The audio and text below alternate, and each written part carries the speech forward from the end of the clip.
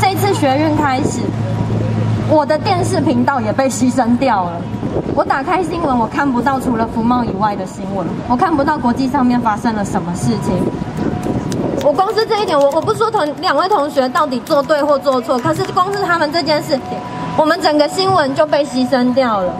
福茂固然重要，服贸固然重要，可是当他们进入立法院的那一刻，很多的民生法案不能否认的也被牺牲掉了。民生法案影响我们最多，那个也被牺牲掉了。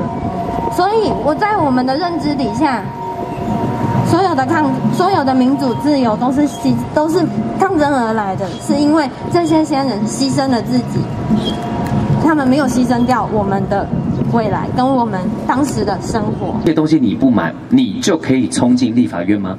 好，你冲进立法院就算了，难道你就可以冲进行政院吗？行政院是是什么？是国家最高行政的机关、指挥机关呢？你可以这样冲进去吗？长度关身，但是到最后好像变成是就是反服贸了，对不对？我觉得这个两个不能化为一谈嘛，不不是是两件事，一个是程序正义的问题嘛，一个是我们服贸到底要不要的问题嘛。服贸到底要要不要不是我们的决定嘛，那是立法员的决定，不然我们干嘛选立法委员？